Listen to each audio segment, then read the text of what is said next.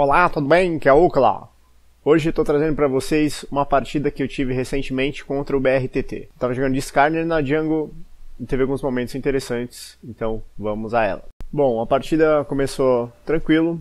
A gente eu fui em posição para dar um invade, o time não veio, então fiquei marcando a entrada da jungle. Aqui na verdade o Trindamere fez uma jogada estúpida. Isso aqui é uma jogada muito idiota da parte dele, a não ser que, que ele tenha visão aqui extremamente arriscado.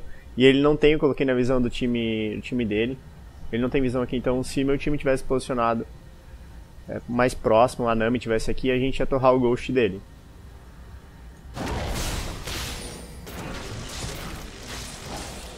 Eu upei o E aqui. Uh, e eu não devia ter upado ele, porque começar de G não é tão bom pro Skarner, é melhor começar de Q. Ou de W. Bom, aqui é, eu estava observando o bot o tempo todo. Conforme eu faço o primeiro clear, eu sempre estou de olho no bot. E eu vi que eles estavam bem avançados e com a vida meio baixa. Imaginei que não teria ward. Eu tô com, de qualquer forma, eu tô com o buff da galinha. A Ana me mandou um exaust. E aí eu já mandei um flash, outro ataque. A gente pegou a kill no, o First Blood no, no. Não sei se foi First Blood porque teve uma outra kill no top também.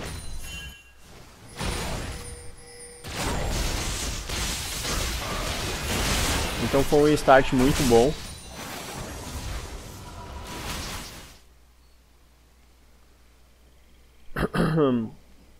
Aqui o que acontece? Eu vim pegar o o Gromp da Elise, porque eu imaginei que ela tinha começado nesse lado da jungle e então que, os, que, o, que o Gromp estaria vivo já nesse ponto do jogo. Mas aparentemente ela começou topside. É, e eu não reparei nisso. Então se eu tivesse percebido, eu não teria vindo aqui porque se ela tivesse começado nesse lado da jungle, já estaria viva igual está vivo aqui os meus Krugs. Então eu, eu aproveitei para só capturar aqui o, no ponto de controle do Skarner.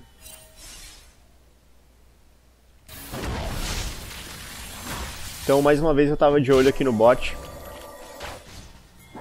Nesse meio tempo eu estava pegando o aranguejo. Quando eu estava farmando eu eu e eu vejo essa sobreposição de ícones aqui, eu sei que está tendo conflito. E pelo posicionamento da Zyra, ela está meio avançada. A Zyra vai vir dar um chase na Caitlyn. Vai pegar kill. E eu vou estar tá lá para pegar ela. Então é crucial acertar esse E do Skarner, porque senão você não consegue dar o lockdown nela aqui. Então a gente começou muito bem a partida. Bom, eu encontrei a Elise aqui no, no rio e eu ia brigar com ela em cima dessa área aqui, mas a LeBlanc estava próxima, a bot lane podia fechar em mim.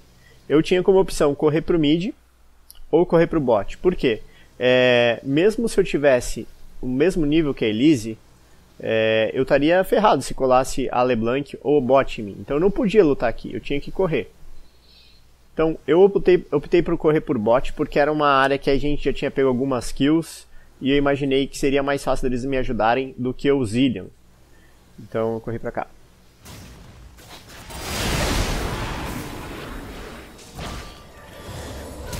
Bom, aqui é, eles estavam tentando fazer o, o dragão.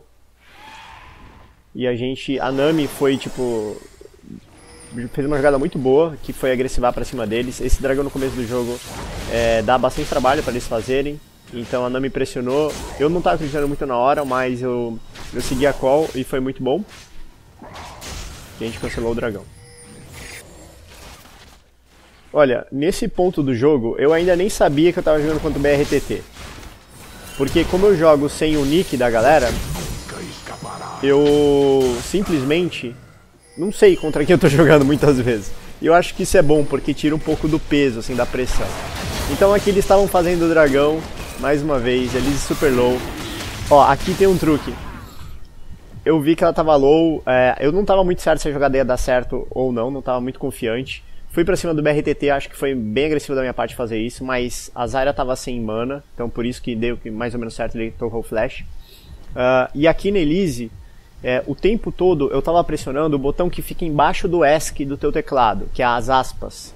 As aspas fazem quando você clica para atacar com, com o botão direito, né? Tipo, clicando para atacar alguém, você não clica em monstros, você não clica em minions, você só clica em campeões. Então isso fez com que eu não atacasse o dragão nessa hora. Porque eu queria stunar ela. E aí depois de stunar, ela errou o smite. O meu smite estava no cooldown. E aí eu peguei o dragão, peguei a kill nela. E peguei aqui, peguei a kill na, na Zyra também. Ou não. Aqui eu tomei um drible.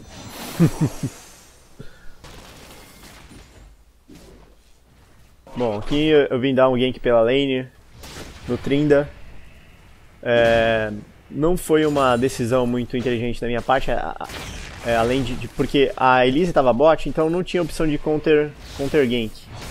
É, o único caso aqui que daria certo é se o Trinda viesse pra cima do Jax. O Jax está dois níveis acima dele, com duas kills, então nunca ia acontecer isso. Então a gente decidiu vir pro Arato. Bom, que o, o Jax resolveu dar um dive e saiu vivo. Então teve algumas situações que a gente saiu na capa da gaita. Saiu com bem pouquinha vida. Essa expressão capa da gaita aí, eu nem sei de onde veio, não sei de quem ouvi falar isso aí, mas é bizarro, né? E não sei por que faz sentido, acho que não faz sentido nenhum no final dos contos. Capa da gaita é um negócio frágil, sei lá, fino.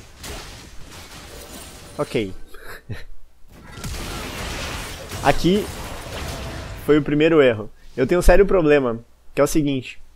Quando eu estou jogando bem, tá tudo ótimo. Agora, quando eu erro, acabou-se. Tipo assim, é, já errei, não dá mais pra ser a partida perfeita, eu fico tipo, super frustrado. Então, aqui eles mandaram muito bem. Uh, mesmo se eu tivesse ult, a jogada foi, que eu fiz aqui foi pra, pra ultar a Zyra. Só que eu não tinha mana. Mesmo se eu tivesse, teria dado ruim, porque o Tryndamere mandou um teleporte muito bom.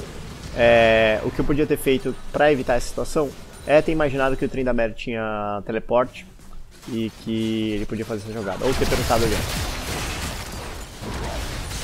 Aqui rola uma jogada que eu faço volta e meia contra LeBlanc, que é a seguinte, tipo, você beita ela pular em você e, e, antes dela pular você já fica clicando com R na cabeça dela.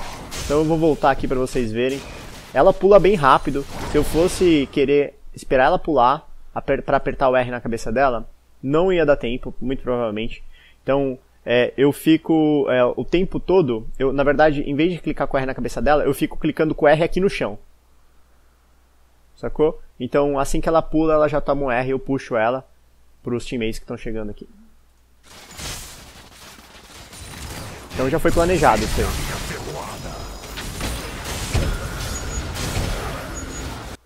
Nesse ponto do jogo a gente acabou de sair do mid, teve uma luta bem generalizada que durou bastante tempo. É, então eu achei que seria uma boa a gente dar um call de barão, porque seria bem é, inesperado a nossa parte e ir direto para o Barão. Né? Então, aos 23 minutos do jogo. Então, vamos ver o que aconteceu e depois a gente volta.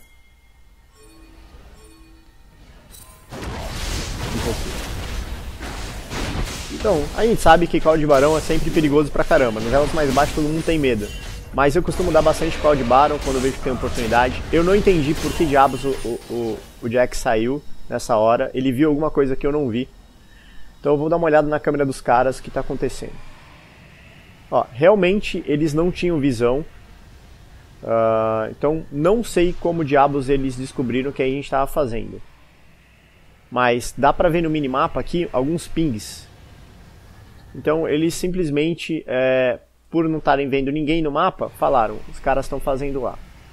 Então se fosse um time, se fosse organizado de verdade, a gente poderia ter falado, ó oh, Zillian, fica mid, é, Caitlyn vai bot. GG, a gente ia fazer isso aqui e eles não iam adivinhar. E aí eu estava saindo, tentando sair, o Jax veio para tentar matar o... Aqui na verdade eu acho que eu tinha até ultimate, E eu, o meu plano era, antes de ultar ele, dar um auto-ataque pra... pra stunar ele, só que não deu tempo. E acabou que eles não fizeram barão, ficaram com medo e saíram fora. Então jogando de Skarner, uma coisa que você quer ficar bem esperto é quem tem QSS, porque é simplesmente aquela pessoa que você não pode pegar. E nesse ponto eu já sabia que o BRTT tinha QSS, mas na hora eu simplesmente esqueci e fui pra cima dele que nem um louco.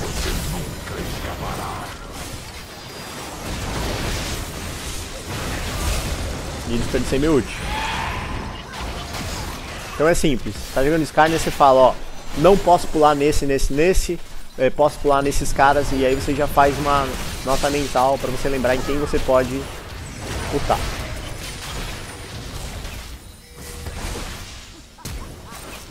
E o Jax foi lá na frente, arregaçando todo mundo. O Jax estava super forte nesse ponto do jogo.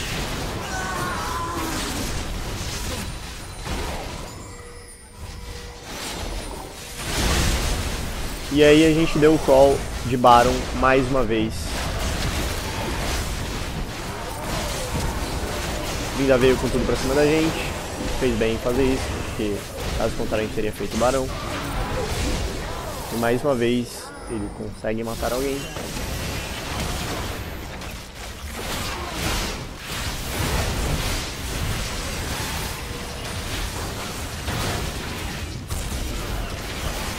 Então, se você reparar, quando eu tava no matinho ali, eu não fiz é, muita coisa, não ataquei ninguém, mas eu tava zoneando o AD Carry deles e mais acho que o suporte, então isso tem um peso na TF. Então, o que, que o Jax começou a fazer? E ele fez múltiplas vezes nessa partida. Começou a dar backdoor para levar desesperadamente o inibidor. Agora, nesse ponto do jogo, é, eu não vejo tanto valor assim em ele dar backdoor e, e morrer para pegar o inibidor, sendo que a gente está com os, os inibidores expostos. Por quê?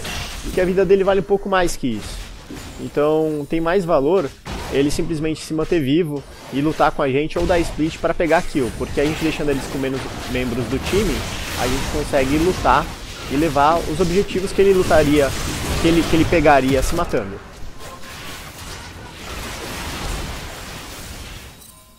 Então a Nami foi ajudar o Jax, acabou morrendo mais uma vez.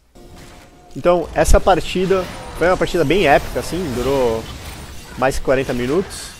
A gente pode ver que no meu time tinha só Diamante 1, e no time adversário tinha só Mestre e um Desafiante. E isso foi na minha MD5 pro Mestre. Então... eu me fudi, digamos assim, né? Pelo matchmaking. Porque o que acontece? O matchmaking ele vai pegar essa partida aí e vai falar o seguinte: ó, se você ganhar, você ganha. É, se eu ganhar, né, eu ganho bastante pontos, e se eu perder, eu perco pouco. Uh, agora, como era MD5, whatever. Tipo, vou ter uma derrota. Mas o MMR, ele ainda assim, ele vai estar tá levando em consideração todo esse cenário aí. É meio desanimador um pouquinho, mas você tem que sempre pensar que o MMR está levando em consideração a diferença entre, que tem nos times. O problema seria mais se tivesse é, Smurfs assim, no time adversário que a MMR não contabiliza direitinho. Então agora vai rolar uma jogada bizarra, que é basicamente eu indo pra cima do BRTT que nem um louco. Eu não sei se eu, é, é, eu não sei se eu imaginei que eu daria conta de matar ele, porque tipo, com essa build que eu fiz, eu não daria conta nunca. Então foi tipo simplesmente eu, Ucla, o velho, cansado de jogar uma partida de, de 45 minutos. Minha cabeça devia estar sei lá onde já. Então, meio que viajei nessa jogada.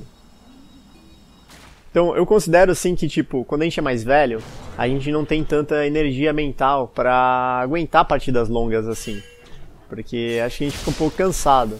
É, não fica assim, ah, super cansado, mas é, a atenção diminui. Então, acho que isso afeta sim. Não, não acho que foi determinante para a partida, nem um pouco. A Caitlyn e mais algumas pessoas do time estavam reclamando é, durante o jogo de, de lag e tudo mais.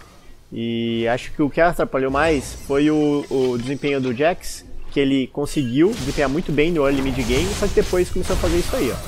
Tá lá dando backdoor. Gastou a Guardian Angel e a Nami se matou junto. Só pra levar o inibidor.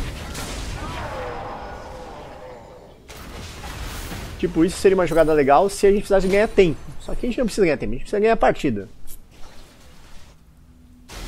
Só que o jogo já praticamente acabou.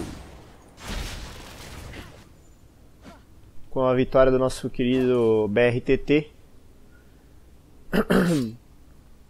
é, 2 contra 5 não tinha muito mais o que fazer. Então, se você gostou desse vídeo, é, esse tipo de análise de comentário dá bem mais trabalho. Então, se você gostou, deixe seu like para ver mais vídeos como esse. Mais uma vez, é, inscreva-se no canal. Muito obrigado e tchau! Confira o livro Suba o seu elo jogando na Jungle, disponível no eloup.blogspot.com. É o e-book mais completo e atualizado sobre League of Legends e ensina você a jogar na Jungle melhor do que qualquer outra coisa disponível. Você não vai se arrepender. São 60 páginas sobre estratégia e outras formas de melhorar o seu jogo. Adquira o seu e ajude a manter este canal.